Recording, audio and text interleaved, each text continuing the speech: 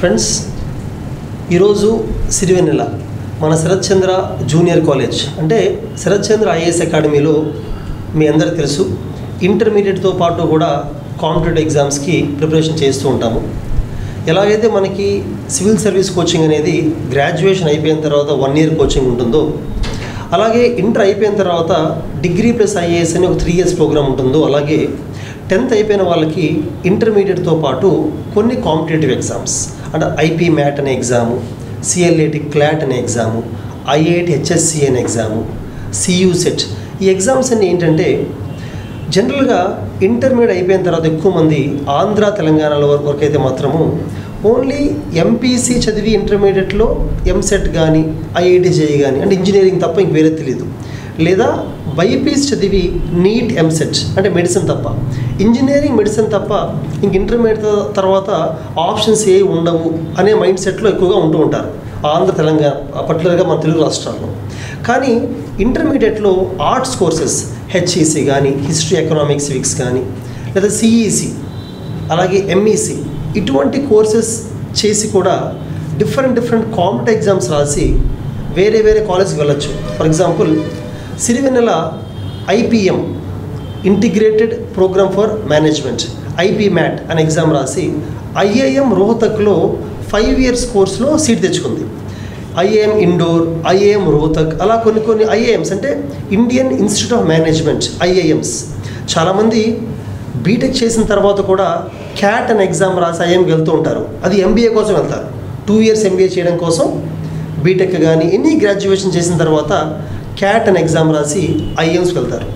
ఐఏఎమ్స్ అనేవి most prestigious colleges అంటే ఐఏఎమ్స్ చదివి ఎంబీఏ చేసి బయటకు వచ్చిన వాళ్ళకి కార్పొరేట్లో వెరీ హై ప్యాకేజెస్ ఉంటాయి. అయితే ఈ ఐఏఎమ్స్లోకి ఓన్లీ ఎంబీఏ అనే కాకుండా BBA plus MBA five years course కూడా ఉంటుంది కొన్ని ఐఏఎమ్స్లో వాటిలోకి ఎంటర్ అవ్వాలంటే ఇంటర్మీడియట్ ఎగ్జామ్ అయిపోగానే కూడా మనం ఐపీ మ్యాట్ ఎగ్జామ్ రాయాలి. నెంబర్ ఆఫ్ సీట్స్ బాగా తక్కువ ఉంటాయి కాంపిటీషన్ ఎక్కువ ఉంటుంది.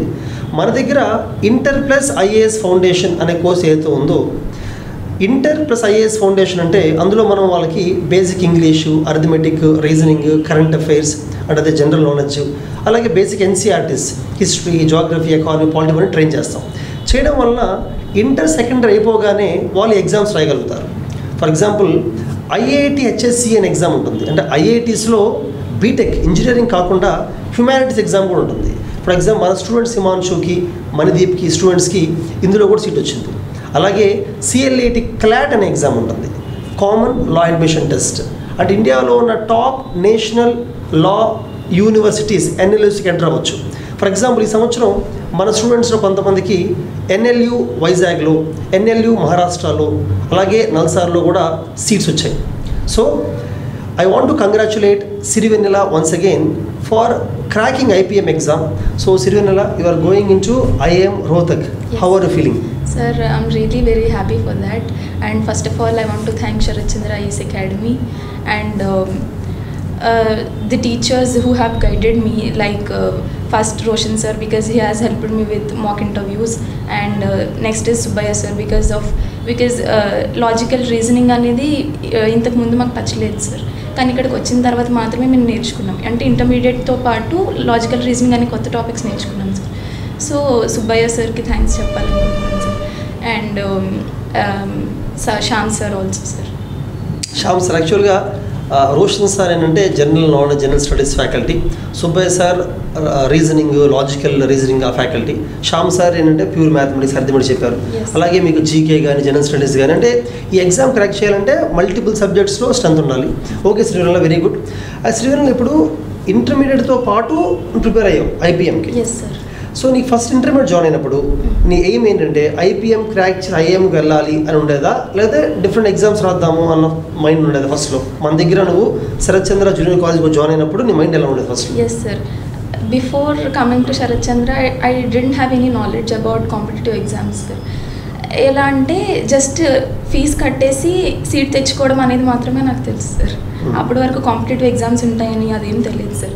ఇక్కడికి వచ్చిన తర్వాతే అంత ఇన్ఫర్మేషన్ చెప్పారు. అప్పుడు మాకు తెలిసింది సార్ ఇలా చాలా డిఫరెంట్ ఎగ్జామ్స్ ఉంటాయి రాస్తే మనకు ఎంట్రన్స్ వస్తుంది అనేసి. అందుకని చెప్పి నేను చాలా గ్రేట్ఫుల్ ఉంటాను sir. Okay okay so basics ఉంటుంది ఏంటంటే ఇంటర్ ప్లస్ ఐఏఎస్ ఫౌండేషన్ అనగానే చాలామంది ఓకే ఇంటర్ నుంచి ఐఏఎస్ చదువుదాము ఇంకా ఐఏఎస్ తప్ప ఏమి ఉండదు ఫైవ్ ఇయర్స్ ప్రిపేర్ అవుదాము అనుకుంటారు కానీ మన అకాడమీలో that's not the aim. Intermediate second అయిపోగానే ఇందా చెప్పి ఎగ్జామ్స్ అన్ని రాయించాలనేది ఎయిమ్ అయితే ఇప్పుడు వాట్ ఈజ్ యువర్ ఎయిమ్ ఇప్పుడు ఐఎంకి వెళ్తున్నావు ఐఎం రోహతక్ అంటే ఇండియాలో one of the top colleges. నీ ఫ్యూచర్ ప్లాన్స్ ఏంటి? ఫైవ్ ఇయర్స్ తర్వాత నువ్వు ఏం ఆలోచిస్తున్నావు? ఇటుపక్క వెళ్దాం అనుకుంటున్నావు. సార్ ఫైవ్ ఇయర్స్ తర్వాత ఒకవేళ అప్పటికి నేను యూపీఎస్సీకి ఇంకా అటెంప్ట్ ఇద్దాము అని అనుకుంటే ఖచ్చితంగా యూపీఎస్సీకి వెళ్తాను sir.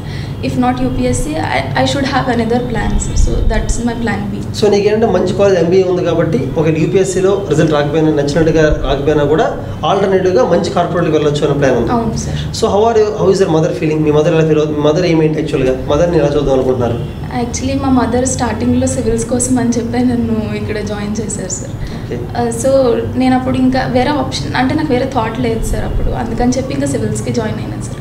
తర్వాత నాకు డిఫరెంట్ థింగ్స్ తెలిసిన తర్వాత అప్పుడు నేను ఐపీ మ్యాట్ అనేది సెలెక్ట్ చేసుకున్నాను సార్ గుడ్ గుడ్ యాక్చువల్గా సిరివెన్నెల సక్సెస్లో మదర్ రోల్ చాలా ఎక్కువ ఉంది. అంటే యాజ్ ఏ సింగిల్ మదర్ చాలా సపోర్ట్ ఇచ్చి సిరివెన్నెలకి సిరివెన్నెలతో టూ ఇయర్స్ కూడా ఎంతైతే మన అకాడమీ సపోర్ట్ ఇచ్చో అంతకన్నా ఎక్కువ సపోర్ట్ మదర్ ఇచ్చి వాళ్ళ మదర్ వల్ల in fact she able to crack the toughest exam అనేది నా ఒపీనియన్. తర్వాత ఇప్పుడు సిరివెన్నెల బ్రాడ్గా ఐపీఎం ఎగ్జామ్ క్లియర్ చేయాలంటే ఏ సబ్జెక్ట్స్లో ఎక్కువ ఫోకస్ చేయాలి? సార్ ఐపీఎం అనేది only three top three subjects మీద ఉంటుంది సార్ అంటే logical reasoning quantitative aptitude and English sir and ఇంగ్లీష్కి వచ్చేసరికి Wren and Martin high school grammar చదివాను sir and word power made easy కూడా చదివేవాళ్ళం సార్ అంటే ఒకాబులరీ కోసం అని చెప్పి. Vocabulary plays very important role in IPMAT sir so and logical reasoning వచ్చేసి మన Sharath Chandra IS academy banking book ఉంది కదా సార్ అది మాత్రమే చేశాను సార్ అవుట్ ఆఫ్ దట్ ఏమీ చేయలేదు.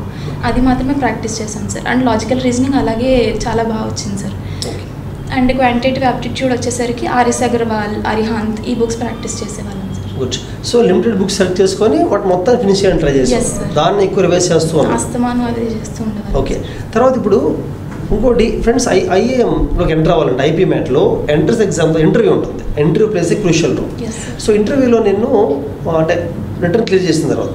ఇంటర్వ్యూలో మోస్ట్లీ ఏ ఏరియాస్ టెస్ట్ చేశాను నేను areas sir mostly academics touch చేశారు sir academics and current affairs కూడా అడిగారు సార్ ఇంకా మనకి జనరల్ నాలెడ్జ్ ఏమైనా ఉందా అన్నది కూడా టెస్ట్ చేశారు సార్ అంటే ఆర్బీఐ గవర్నర్ ఎవరు? ఇంకా మన స్టేట్ చీఫ్ మినిస్టర్ ఎవరు? ఇలాంటి క్వశ్చన్స్ కూడా అడిగారు సార్ ఇంకా ట్విట్టర్ ని ఎవరు కొనుక్కుందాం అనుకుంటున్నారు? ఇంకా దాని ప్రైస్ ఎంత? ఇట్లాంటి క్వశ్చన్స్ అడిగారు సార్. ఓకే. తర్వాత ఇప్పుడు మన అకాడమీలో లాజికల్ రీజనింగ్ అరిథమెటిక్ ఇంగ్లీషుతో పాటు. జీకే జనరల్ అవి చెప్తూ ఉంటాం కదా. ఈ కరెంట్ అఫైర్స్ ఏదైతే నువ్వు ఫోకస్ చేసావో దానివల్ల ఇంటర్వ్యూ బాగా ఫేస్ ఫేస్ చేసాను అనుకున్నావా అవును సార్. అవి అద్- అదైతే చాలా బాగా హెల్ప్ చేసినాయి సార్ నాకు. ఎందుకనంటే ఒకవేళ జీకే నాకు తెలియకుంటే ఇంటర్వ్యూలో ఖచ్చితంగా నేను ఫెయిల్ అయ్యేదాన్ని సార్. అది ఎప్పుడైతే నాకు టచ్ ఉందని నేను స్ట్రాంగ్ ఫీల్ అయ్యి కాన్ఫిడెంట్ ఫీల్ అయ్యి ఇంటర్వ్యూ ఇచ్చాను ఆ రిలేటెడ్ క్వశ్చన్స్ వచ్చినాయి కాబట్టి నేను ఫేస్ చేయగలిగాను sir okay okay so friends ఏంటంటే ఐపీ మ్యాటర్లో మెయిన్ ఫోర్ సబ్జెక్ట్స్ ఉంటాయి. ఎగ్జామ్లో మూడు ఉంటాయి. అర్థమెటిక్ రీజనింగ్ ఇంగ్లీష్ అండ్ ఇంటర్వ్యూలో జనరల్ అవేర్స్ అవసరం. సో ఫోర్ సబ్జెక్ట్స్ని ఎలా శ్రీలో చెప్పిందో సోర్సెస్ ఆ సోర్సెస్ ఫాలో అయ్యి కరెక్ట్గా ఫోకస్ చేస్తే ఐపీఎం ఖచ్చితంగా మీరు క్లియర్ చేయగలరు. ఐపీఎం అనే కాదు ఫర్ ఎగ్జాంపుల్ శ్రీలో మీ క్లాస్మేట్స్ మీ ఫ్రెండ్స్ చాలామంది సియూసెట్ రాయిపోతున్నారు Yes, సియూ. అంటే central universities common entrance test అనమాట అది. ఈ సంవత్సరం ఏం చేశారంటే ఢిల్లీ యూనివర్సిటీ కావచ్చు లేకపోతే అలీగర్ ముస్లిం యూనివర్సిటీ కావచ్చు జామియా మిలియా అవ్వచ్చు లేకపోతే ఈవెన్ జేఎన్యూ అవ్వచ్చు అన్ని యూనివర్సిటీస్ కూడా ఒకటే entrance examination CU CUET exam అనమాట ఫర్ అండర్ గ్రాడ్యుయేషన్ పెట్టారు. సో మన students Sirivennela classmates intermediate students చాలామంది ఆ ఎగ్జామ్ కూడా రాస్తున్నారు. సో అలాగే వీళ్ళ ఫ్రెండ్స్ చాలామంది మన క్లా వీళ్ళ క్లాస్మేట్స్ సిఎల్ఏటి క్లాట్ రాశారు. క్లాట్ కూడా I very happy that some of your friends clear CLAT. ఇందా చెప్పినట్టు ఎన్ఎల్స్కి వెళ్తున్నారు. సో ఇన్ని ఆప్షన్స్ ఆపర్చునిటీస్ ఇంటర్ సెకండరీ స్టూడెంట్స్కి ఉంటాయి. సో ఇంటర్మీడియట్లో ఇంటర్ ప్లస్ ఐఏఎస్ ఫౌండేషన్ ఎందుకంటామంటే ఈ డిఫరెంట్ ఎగ్జామ్స్ రాసి they can pursue whatever course they want కొంతమంది కావాలంటే డిగ్రీ కంటిన్యూ చేయొచ్చు but remaining students can pursue different courses. ఇది ఓవరాల్గా తెలుగు స్టూడెంట్స్కి నేను చెప్దాం అనుకుంటుంది. సో మీకు ఆర్ట్స్ ఇంట్రెస్ట్ ఉన్నా కూడా ఆర్ట్స్ హిస్టరీ ఎకనామిక్స్ సివిక్స్ లేదా ఎంఈసీ మ్యాథ్స్ ఎకనామిక్స్ ఇంట్రెస్ట్ ఉన్నా కూడా మీరు ఈ ఎగ్జామ్స్ని పర్సూ చేయొచ్చు and you can be successful just like Sirivennela. Congratulations Sirivennela. Madam ఇప్పుడు టెన్త్ అయిపోయిన తర్వాత జనరల్ ఎక్కువ మంది పేరెంట్స్ ఏంటంటే టెన్త్ అయిన తర్వాత వాళ్ళ అమ్మాయి అయినా అబ్బాయి అయినా ఈ ఫీల్డ్స్ ఇందులోకి వెళ్తే బాగుంటుంది. అంటే ఇవి ఆప్షన్స్ అనుకుంటుంటారు సో మీ అమ్మాయి టెన్త్ అయిన తర్వాత మీ మైండ్ ఎలా ఉండేది? అంటే టెన్త్ క్లాస్ అమ్మాయి మార్క్స్ బట్టి అమ్మాయి ఇంట్రెస్ట్ బట్టి మీరు ఎలా ఆలోచించారు? అమ్మాయి ఇటుపక్క వెళ్తే బాగుంటుంది ఆలోచించారు. అంటే ఆ డెసిషన్ అనేది మనం తీసుకోకూడదు సార్. వాళ్ళకి ఏది ఇంట్రెస్ట్ అయితే దాని వైపు మనం ఎక్కువ వాళ్ళని ఎంకరేజ్ చేస్తే ఖచ్చితంగా సక్సెస్ అనేది వస్తుందని. తనకి ఏది ఇష్టం అనేది నేను అదే అడిగి చెప్పాను. తన ఇష్ట ప్రకారం తీసుకొచ్చి ఇక్కడ జాయిన్ చేస్తాను సార్. Okay madam. ఓకే. తర్వాత మీకు ఈ ఐబిఎం ఎగ్జామ్ ఐబిఎం ఎగ్జామ్ ఉంటుందని సిఎల్ఎట్ ఉంటుందని ఎప్పుడు తెలిసాయి మీకు? అసలు యాక్చువల్గా నాకు తెలియదు సార్ అది. ఓకే. తెలియదు ఇక్కడ కాలేజీలో సార్ వాళ్ళు వాళ్ళు చెప్పడం వల్ల దీన్ని నాకు కాల్ చేసి చెప్పారు. ఇట్లా ఉంటుందంటే సరే సార్ వాళ్ళు ఎలా చెప్తే అలా చెయ్యి. అని జస్ట్ నేను ఏంటంటే వెనక నుంచి ఎంకరేజ్ చేశాను అంతే సార్. జాగ్రత్తగా చదువు సార్ చెప్పేవాడిది ఫాలో అవ్వు. ఖచ్చితంగా నువ్వు ఏదనుకుంటే అది గోల్ రీచ్ అవుతావు అని చెప్పడం వరకే సార్. నాకు అది యాక్చువల్గా అయితే అసలు దీని మీద అవగాహన కూడా లేదు సార్. ఓకే. కానీ మేడం ఇప్పుడు ఏంటంటే మీ అమ్మాయి ఐఎం రోజుకి వెళ్తుంది కాబట్టి ఐఎం రోజుకి వెళ్తుంది కాబట్టి. నెక్స్ట్ ఏంటంటే మీరు ఎవరైనా అడిగారు అనుకోండి ఆప్షన్స్ ఏ ఉంటాయని మీరు చెప్పగలుగుతారు ఇప్పుడు. ఐపీఎం ఎగ్జామ్ ఉంటుంది. సిఎల్ఎల్ ఎగ్జామ్ చెప్పగలుగుతారు. సో అవేర్నెస్ పెరుగుతుంది పేరెంట్స్కి కూడా చాలా మంది పేరెంట్స్ ఏంటంటే పిల్లలకి ఇంజనీరింగ్ ఇంట్రెస్ట్ లేకపోయినా అందరూ అందరూ పంపిస్తుంటారు. లేదా మెడిసిన్ లేకపోయినా అదే పంపిస్తుంటారు. ఎందుకు వేరే ఆప్షన్స్ తెలియక. So I have to congratulate you యాక్చువల్గా మీ కంగ్రాచులేషన్స్ ఎందుకంటే ఈ ఏజ్లో టెన్త్ అయిపోయిన పిల్లలు సక్సెస్ అవ్వాలంటే పేరెంట్స్ రోల్ చాలా ఉంటుంది.